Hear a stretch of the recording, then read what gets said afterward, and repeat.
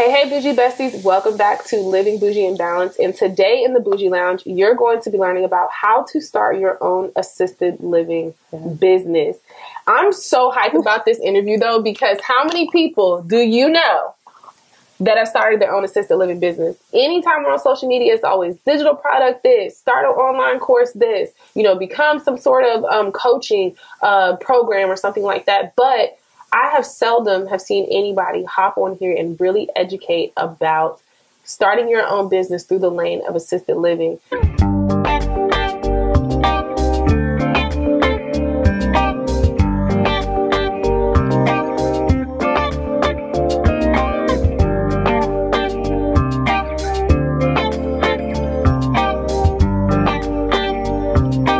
And when Martha and I connected, she's like, hey, sis, this is my business model. I can help people do this. I've done this strategically time time over time and now I'm ready to help other people. So I was like, sis, I have to have you on the podcast. I need to pick your brain. And so now we're here all the way from Miami. Yes. all the way from Miami. Martha, how are you? I'm doing well. I'm excited to be here in Atlanta. Yay. Yes. Didn't know what was going to happen, but thank God I'm still here. I was terrified. Feel me? I know. I know. Dr. Tyrone Butler. When you say like you, you had like a hard Before we even get into the whole assisted living business framework, yes. What made you take this career path and, and and starting your own business with this? Like, what is your backstory? So um, I've always loved helping people. Um, I'm a nurse practitioner by trade.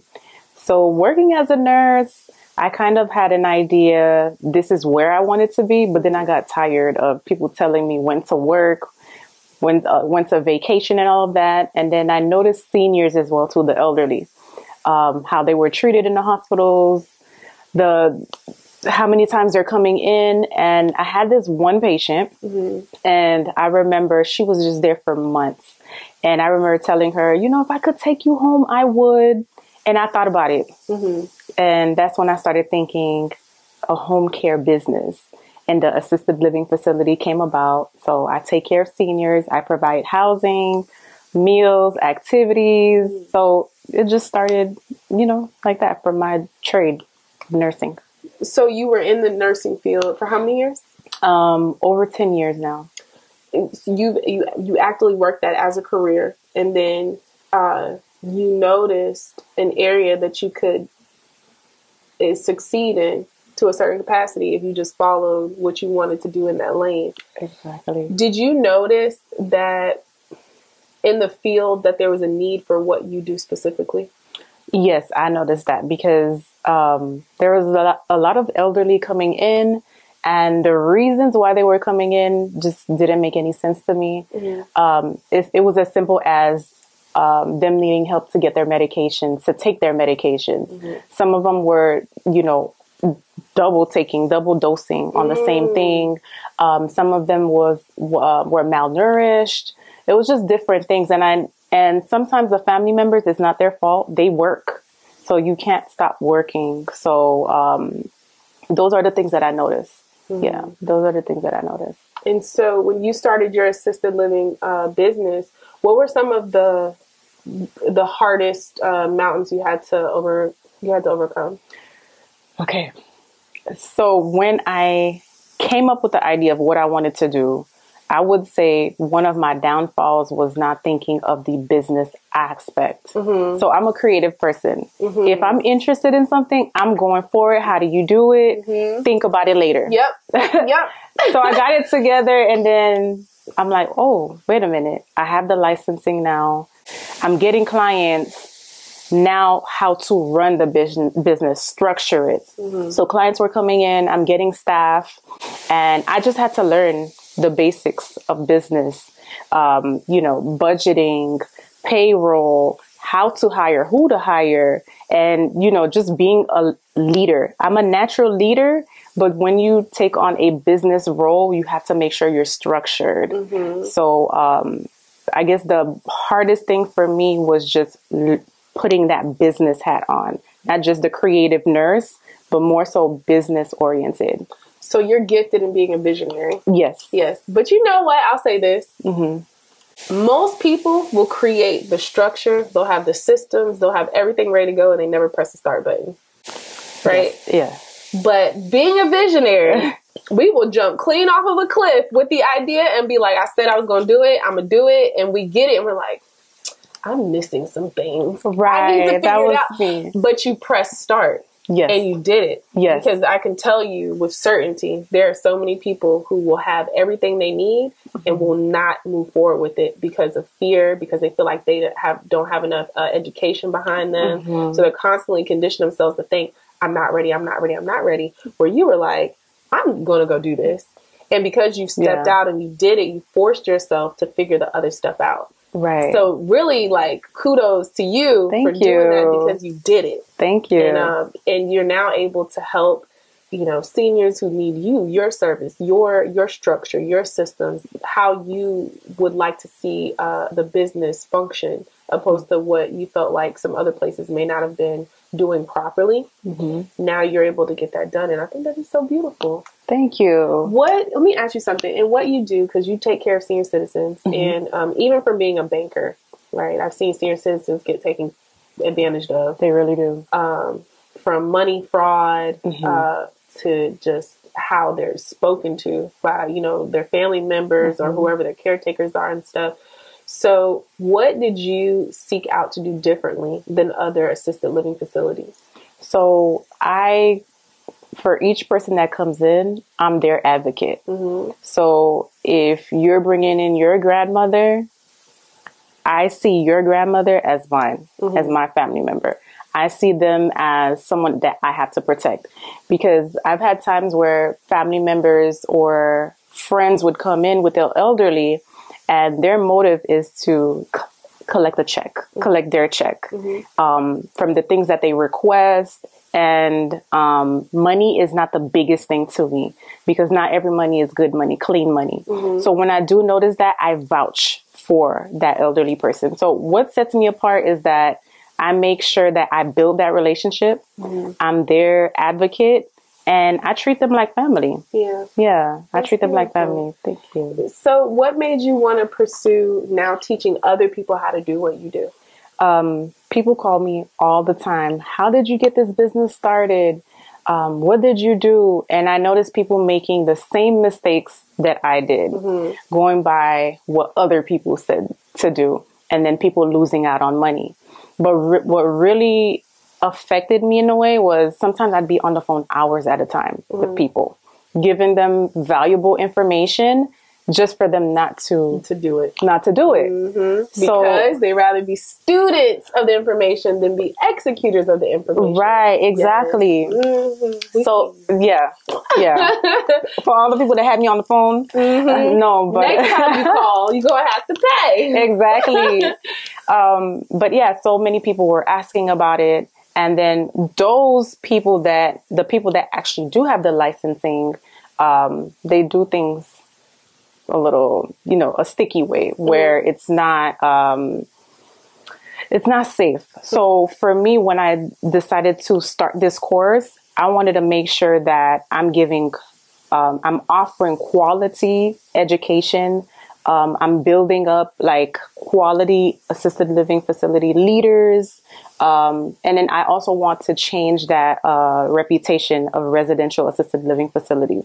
So the residential ones are like the housing facilities. People look at it as mom and pop. Um, sometimes you'll see some facilities you'll walk in and it looks just like somebody's a regular home. Um, so what I want to change as far as like, the students that come to me, when someone comes in, I want them to see it as a professional business, clean, smells good, everything's in order. You have the the sign in, you have safety measures, you have residents that look clean, smell clean, look happy. They're not slumped on the chair. Um, so that's what uh, makes me, you know, stand apart. So that's Yeah. your standard. That's my standard. And and you wanted to teach other people how to operate at that same At standard that when same they, standard. when they open theirs because honestly um, i've never heard of someone that taught other people how to open their own assisted living program Mm-hmm. uh, or assisted living homes And so when we spoke, I was like, yes, this is amazing. Like, how do you do this? Especially someone who looks like, you know, me. You mm-hmm. know what I mean? Right. I just haven't seen it. I always thought that this was something that was done from uh, medical professionals or um, people who, you know, like own hospitals and stuff. They're the ones mm-hmm. who open these. Mm-hmm. I didn't know that it was something that the average person actually has Yeah. access to be able to do. So if I was somebody, me, brand spanking new, I'm just like, you know what? I love my big mama. I do love my big mama. I do. Hey, big mama. Um, but I want to make sure that my big mama has some place that's safe, secure, uh, for her to be that is held to the standard that I would like to see her care be in. And I'm like, you know what? Instead of sending her to a facility, I got some money put aside. I want to try to see if I can open my own facility. What would be some steps that I would go through in order to try to make that happen? So, um, first of all, it starts with the mindset. You have to make sure that what you're about to jump in, you're structured, you're organized, and you're ready to go.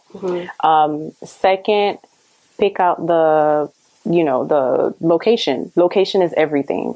So, um, you want to make sure it's a location where seniors are retiring. Um, you have to go to a zoning department because they're the ones that gives you the yes or the no because you don't want to purchase a property and now you can't um, use that as a facility. So go to zoning. Um, next there's di- just different steps as far as inspections health inspection um, fire inspection different things like that. But i would say um, you know start with zoning and start with a my good mindset and know what location that you want When uh when I used to have my gym, mm-hmm. an expense that I never took into account, I did that. I jumped off the cliff. I was like, you know what, I want a gym. So I went and I did it, not mm-hmm. knowing really the systems and structures that I need to have. Mm-hmm. One of the things that really caught me off guard was the cost of the paperwork. You don't think about Mm, that. you You're talking about about like these expe- inspections and all of this stuff. Like that stuff can add up and be costly, which was not something I took into account. I'm thinking, oh, I have to get these machines. Mm-hmm. I need, you know, these different things for the physical aspects of the business. That paperwork tripped me up. And so uh, when you're talking about those steps and having the inspections and make sure you're fitting zoning and all those, Mm. uh, those are some really, really good tips to give. And I know that uh, you'll be providing a checklist Yes. for those who are interested. yes. Yep. Uh, for those who are interested in learning how to open up your own senior living facility. Uh, and so that checklist is going to be a good guide for you and it's free, right? Yes, it is. It is Yes. free. And you know, we have the boomers who Mm-hmm. are who are out and many of us do have elders that we love and we care for and we might not like the type of care that they're receiving. So if you're already the one who has stepped in as the caretaker, it may be a good business model for you to look into. Right, right. Uh, so how many facilities do you have right now? So right now I just have one facility. Mm-hmm. Um, I did want to expand, but then I thought about my lifestyle Mm-hmm. and my love for teaching. So I put the two and two together. I like teaching more. Mm-hmm. So, and I want to see better assisted living facilities. So I chose the route of teaching, but I do have one facility. You know what? You could go and audit other senior living facilities. Yes, I actually do that. Yes, Yeah, I do that. Hold them Yes. accountable. I do that. I do that. That's great. So you know that uh, if someone comes in as a student, they know the standard that they're going to have to abide by Mm-hmm. in order to open the facility. And so, uh, with the senior living facility structure, what are some big red flags that you see in some of the places that you've gone and visited? Red flag when you come in, you don't see a login book. Mm. So people are coming in and out, no one's signing in. How do you know it's basically not safe? Mm-hmm. Um, another red flag is when you see medication just everywhere. Mm-hmm. Um, or you see residents just randomly sitting around because in actuality they're actually supposed to be active there should there's supposed to be um, activities for them Um, so those are the big red flags that you can see just coming in. Um, the underlying is paperwork. A lot of people they get fined for paperwork. So that's one of the things that I look out for for students as well too, because a lot of the consultants they help you with the licensing. You get the licensing, but they don't teach you how to keep your license. They don't teach you how to keep quality um, residents, keep quality staff, and they don't teach you how to build a relationship with the inspectors mm-hmm. that are supposed to give you the license. Welcome. My name is Martha Janvier, and I'm the owner and CEO of Peace of His Cornerstone LLC. We provide residential assisted living facility homes throughout Florida. We offer medication management,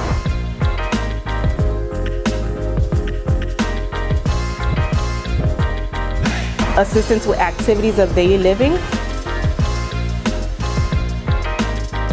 health, wellness, and social activities, games, and so much more. Most importantly, we focus on improving the quality of life of our residents by implementing what matters to them into their new home. Call us today to schedule a tour of our facilities. Hope you're enjoying the interview. Don't forget to grab your free checklist below. Now back to our interview with Martha. So um, that's what I do. So I look at the outer, and then I also look at the underlying, the paperwork and all that. That's awesome. And so you're able to. I, I love. I love that you're not just someone who's like, yeah, I said I wanted to go do it. I open this, and that's that. Like you have, you really operate by a certain um, code of conduct Yeah. when it comes to this. And so, uh, if I was someone who wanted to start my own facility, um, and I reached out to you, I, I, do you need to be in the medical field to do this? Anyone can do it. Um, as long as you have a high school diploma, you have a clean background, you can go ahead and do it. But I would say you have to have that structured mindset. But anyone can open up an assisted living facility, not just a nurse, not just a doctor, none of that. Anybody. Financially, what, what do you think would be the costs that are associated with opening your own facility? So it all depends. It depends on the area. It depends what you already have. For myself, I can speak for myself. I already had a property. Um, I already had the furniture and all of that. Um, I would say in total, everything costed cost roughly around between twenty to thirty thousand dollars, and that's just me just making sure I have updated systems. My facility looks presentable. Um, there's a portion where the licensing agency they're going to have they're going to ask you for a set amount of money. It can be anywhere between as low as ten thousand up to eighty thousand, but that doesn't mean you have to have that cash um, ready. Just to, it could be credit cards put together. They just want to see that you have those readily available if there were an emergency between like six to just like any business. They want to make sure that you can maintain the business Yeah. for up to a year. So it's just So- like the funds to be able to fluctuate with Exactly. or it's anything that okay that can happen with the business. And so are there grants that people could use to be able to do this business or is it you have to raise capital? Um, you have to raise the capital, but if you had already an established LLC, you can apply for loans. Um, there's uh, mom and pop grants that you apply for. You could apply for. Um, some people they use their 401k. Basically, you just have to invest in yourself. Yeah. And so what okay, so we're looking at all in if you already have a property, Mm-hmm. um, you're probably gonna spend anywhere from twenty to thirty Uh, what would be the return on the investment with a So- senior living facility? Okay, so my first year, I made six figures. Mm-hmm. But like I said, the business hat had to mm. come in. So I, the money was coming in. I was like, oh my gosh, this is amazing. But then one of the main things I want to let students know is you have to look at payroll. Mm-hmm. You have to look if you have a mortgage or a rent. So all of that comes into play. There's money in it, but you have to make sure you manage it well. Mm-hmm. Um, another thing too is how you're pricing everything. So you can have a semi-private room where you have two residents. Um, you can charge whichever you want because it's your business. You can charge up to 3000 4000 Just pay attention to what your compared competitors are charging, and then you can go from there That's per resident, per resident mhm, per month. per month. Let me ask you something. What makes the like so if I was to go and rent a home, hmm like a whole home, I Mhm. wouldn't pay that much for me individually for like a home. Mhm. Um, but per per senior, they're gonna pay even if they share a room, they're gonna pay around that. Yeah. What does that include? Does that include their care? Like what all comes into that rate? So with that rate, um, which is another thing that I learned in the business, that's the um, room and board. Mm-hmm. So, for example, you can charge three thousand dollars. That's the room and board. But remember, everyone is different. Mhm. So you may have a senior that may not require as much. So you may have a senior that can eat themselves, can go to the restroom themselves, and then you have another where you have to assist them to the bathroom. Mhm. So of course, the one that you're assisting, now you're charging More. more. Mhm. So you have the standard room and board and then the care. You're Mm. charging for their care. So it could be more. So this is a very lucrative business model. It, it definitely is lucrative, lucrative, but you just have to make sure, um, you know, you structure yourself well. Yeah, and I think that's you're really hitting the nail on the head with that. Yeah. like Structure, structure, structure, structure. structure. Because the money will come in and then it'll be like a hole in your po- pocket if Mm-hmm. you're not structured. can you tell me of like a nightmare story you've had with uh, assisted living or senior assisted living? Is that Mhm, yes. a nightmare that you've had with assisted living?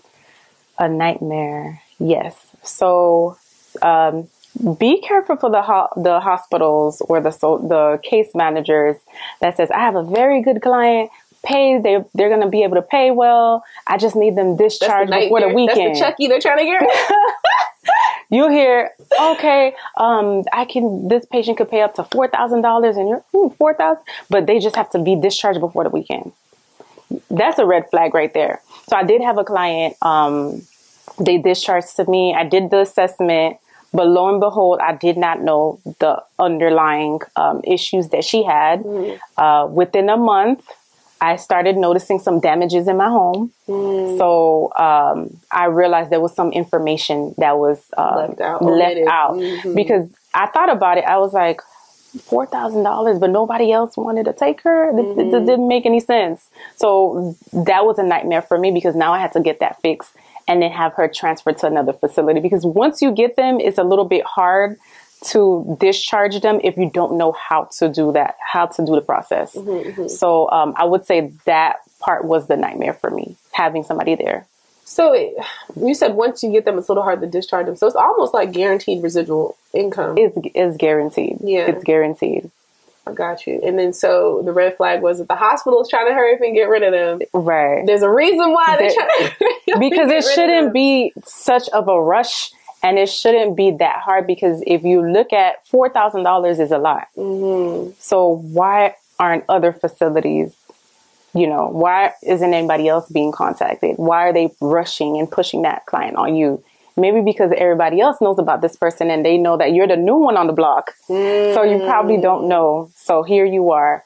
But um, I learned um, anything that's too quick, too easy, you have to be, you have to pay attention. Be cautious. Yeah, be very cautious. And so you've had the living um, facility that, that you, the living, um, Assisted living, yeah, I'm struggling with this. twist that word. okay, so you've had the assisted living home now Mhm. for how many years? Uh, 2019, so it's gonna be what almost five years now. Five years you've been Oh, doing this. yeah. You're like a vet now. I I still feel like a baby, but you know, um, technically I am a vet in it now. Yeah, you're a vet. Ten years in, in nursing in the medical field. in the medical field. And ten years in the medical field. Five years in owning your own assisted living home. yeah, Um, and you know, you developed this amazing program to be able to teach other people who want to get into this. I honest to goodness thought that this was only for people who were in the medical field. I didn't know that I myself could be an owner yes, and can. just hire the right people to be in there. Yes, you can. You can. Um, so let me be specific. If someone has real estate, you have multiple properties, this is a good business for you where you don't have to be um, working in the business. You can just hire an administrator and then they run the business for you. So instead of just renting um, a property to someone, and you probably rent it for what, like two to three thousand dollars a month per client, you can get two three thousand a month. Yeah. So So, what would be the ideal home structure for this? What would that look like? So for residential, it has to look home like. So the standard three to four bedroom, you put um, up to two residents in there. But I just want to make sure you know that um, with zoning, depending on your area, sometimes they cap you. Sometimes the max you could have in that home is six to eight. It all depends. Um, but just a home like environment, but make sure it looks presentable. Make sure it looks nice. It's clean. It's updated. Just because the people are seniors doesn't mean you don't have to have technology in there. I have everything updated. So when people come in there, guests, visitors, family, everybody wants to live in there. I I would live there. I would live there. Yeah, some places you can't you can't even sit. So, can people who purchase uh, two level homes or three level homes, would that be an ideal situation or they need to be one level? Um, no, it can be two level, but just think of liability. Think of the type of clientele you're ad, um, admitting. So, for example, if you're admitting people that are using walkers or canes, that may not be ideal. Um, but it is possible where you can get the people that just needs a retirement home, someone that just needs company or medication management and they can do going up the stairs. Yeah, that's fine, but you'll be limited as far as the clients. Okay, so I have another question. I'm like really intrigued. Um, so, do you provide the medical staff that manages their medication and stuff, or is it their insurance that provides that for them inside of your facility or your home? Okay, so everything is teamwork. So as far as like the medication management, the caregivers that I hire, they have to have that certification already. So that's within their scope of um, their their work scope. So they're assisting the resident mm-hmm. with their medication.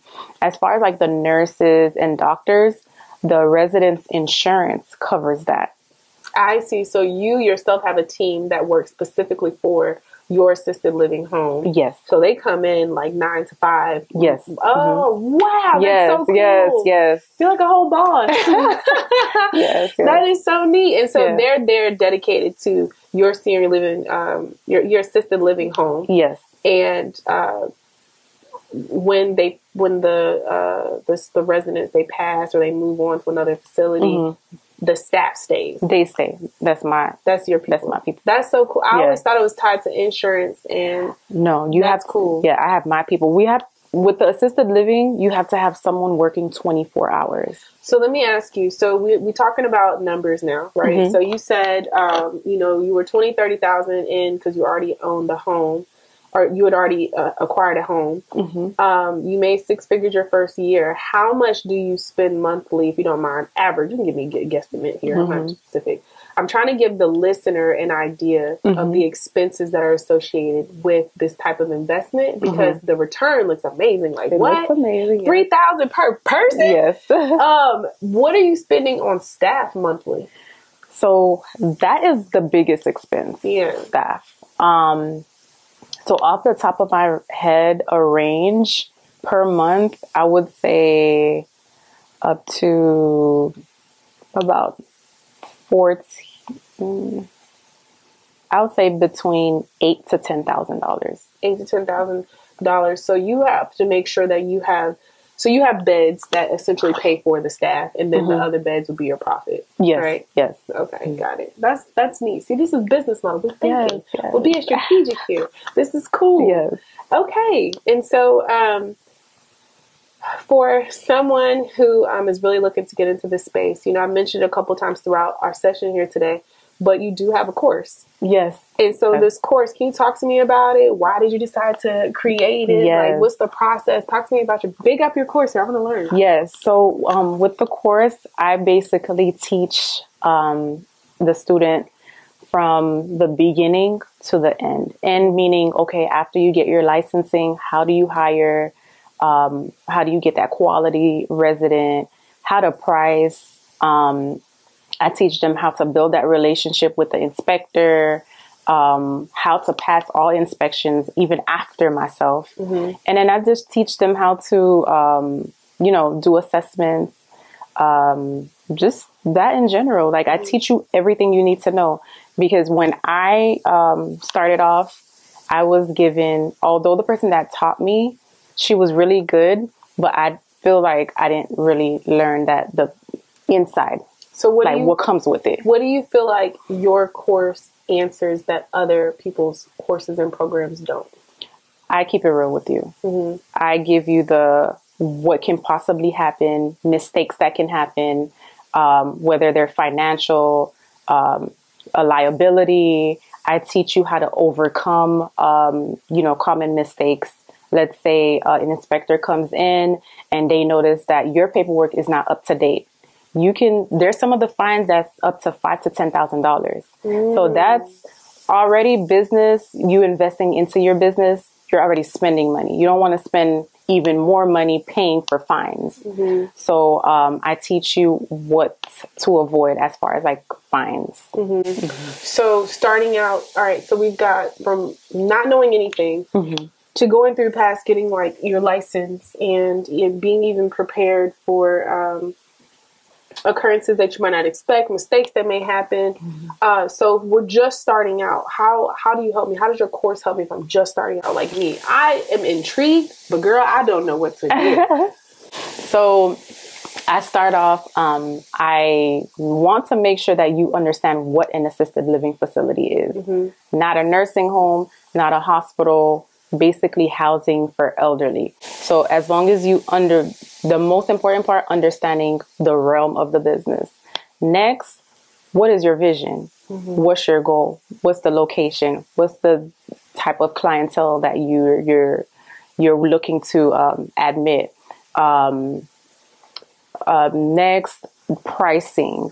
Uh, next, what type of staff? Because staff could make it could make you or break you. So if you um, hire someone and that person is not proficient in a certain language, let's say you go to um, biz- a business, if you start your business in a certain community, let's say they speak Spanish, majority of the people, you're not just going to hire staff that speaks English only. Um, you want to make so all of those things. I just make sure that you understand all of those. Yeah, And with the program, how long is it? um, it's self paced. So um, I basically pre record everything that you need to know. Um, I have uh, homework. And um, I offer the group courses as well, the group um, sessions as well too, just to make sure that everybody did their homework um, and understand what's going on. But it's self paced. It's for anyone that's busy, um, people that can't sit in one sitting. Um, you can take it in. You could uh, look at the videos in increments. It's for anyone. It's self paced.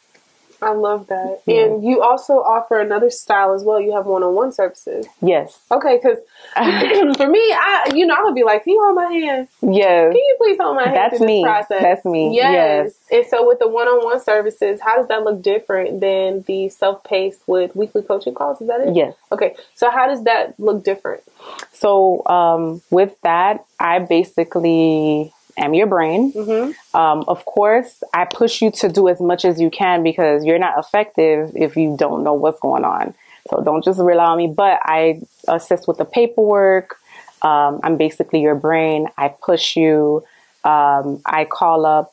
I find resources like third parties. So, for example, if you need a good company for a fire alarm system or whichever, I coordinate that and assist with that as well too. But the biggest thing is paperwork, which nobody really wants to do because it's a lot. Paperwork is It's a lot. stressful. Yeah, I don't is. know this like for a senior living. Um, what, how I this? Assisted living. Lord help me.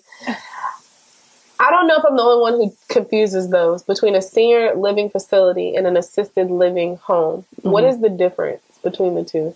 Um, so you're talking about an assisted living facility versus a group home.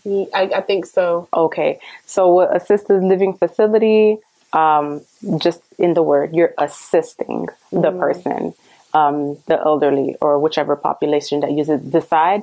And then the group home is usually, um, a lot more paperwork, Mm-hmm. a lot more monitoring, um, and you don't choose the clientele that Okay. you want. I Yeah. used to work at this. I don't know if you ever heard of um, Atria. It was Atria. Age, Uh-huh. I've It's, heard one in Buckhead. okay. That's a nice area. You got Bankhead and you got Buckhead.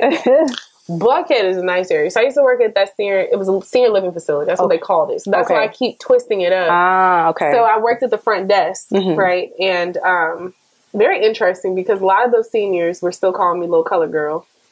And and they would forget. They were like, "You're such a nice color girl." Ah, yeah. But you know what I'm forced to say? I'm forced to say, well, thank you, because they, they, they can't remember. Some of Mhm. them couldn't remember that that's Yeah. how they were speaking to me and stuff. So it was a big adjustment and Mhm. learning experience for me. But I had to think about, I was like, why do I keep calling this a senior living facility? And it was because of my attachment to where I used to work. ah. So I do apologize. I No, no, no, like, no, why she keep messing this up? No, no, it's okay. It's it's a common thing. Some it happens. It Mhm. happens. Okay. Yeah. I appreciate you for being patient with me on Of that. course, of course. Uh, but you you have these various programs. You have the uh, the self paced program, which let me be honest with y'all. If this is something that you want to do, I honestly, me personally, I would want to have my hand held. Uh, paperwork alone is a headache, and I can picture people going through this process, getting to the paperwork, and quitting Yeah, because they don't want to have to deal it's with a it lot. um, I'm thinking about taking her program because I like to invest my money and I want my money to work for itself. And this may be a very good avenue for me. So for me, I'm more uh, called to the having my handhelds. I'd be like, Martha, girl, girl, this paperwork is stressing me out. Can you help me, please? Uh, so I would definitely encourage you all start with the checklist. You have your free checklist available to them Yes. that's going to help them for anybody who's interested in starting their own assisted living uh, program, having their own assisted living home. Uh, I really feel like the checklist is going to be the perfect guide for you, for you to be able to say, all right, these are the systems and structure I need to have in place. Now, the execution of that is when you're going to need the coaching, Yes. when you're going to need the help, the strategy. And so, whether that be the self paced program, if you're one of those people who are like, I'm a go getter, I get it done, I'm going to be disciplined, that's for you. If you're someone like myself who might have a little taste of attention uh, disorder, who might have a little taste of Majority of us. uh, right, a little taste of I, I, this is something I want to do, but I, for some reason I'm too busy and I keep getting distracted. I would probably go with the one-on-one coaching route. Uh, you know, I love that you're in this space. I appreciate you being in this space. Thank you. I value that you honored yourself in following the the passion that you have in doing Mhm. this. Because there aren't many people who look like us that have stepped in this space right. Yeah. you might be the only one I know, honestly. so I just want to Mhm. give you your flowers in that, Thank you. um, and to thank you for being you, and thank you for thriving in with the area that you're thriving in and leading the way. Thank But you. for more of us to enter into that space. Thank you. You're yeah, that's my um, biggest goal is just to put it out there because um, I noticed that there aren't people that look like us. Mhm. Um, young, uh, black. Usually, it's like the older community that's in this business, but the seniors need, you know, young people, lively people.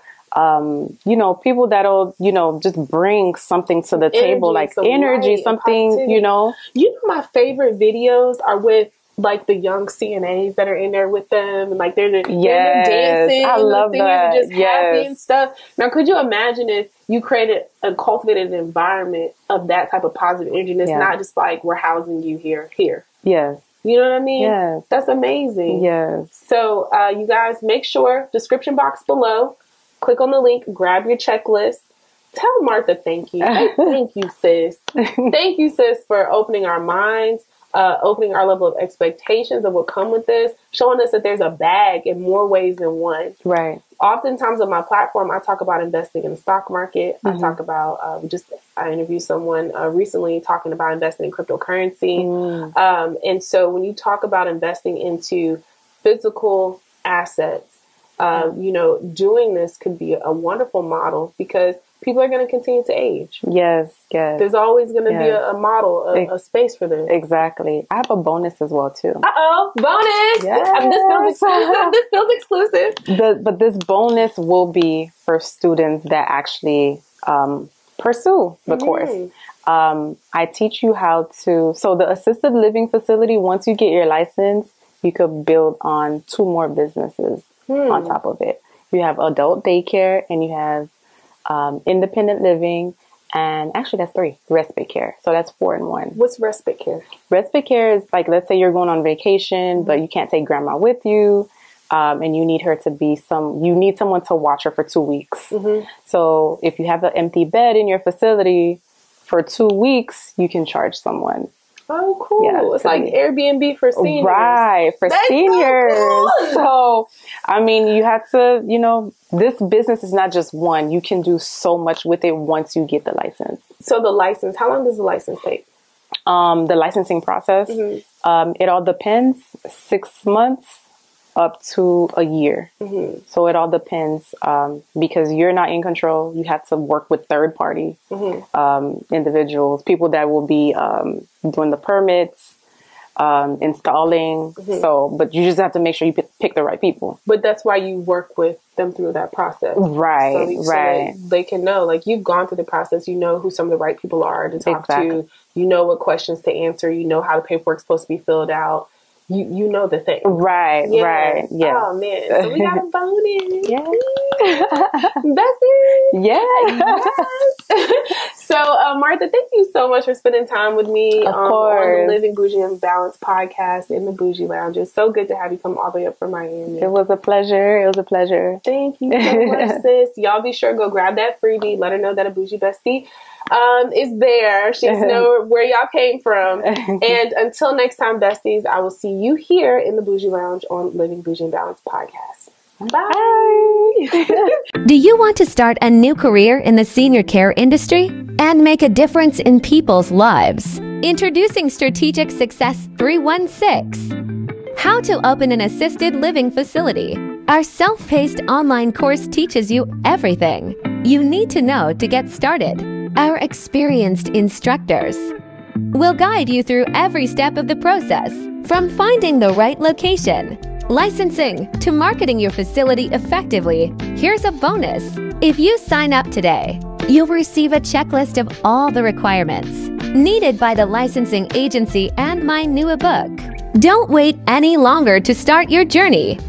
Enroll in Strategic Success 316 and make a difference in the lives of those who need it the most.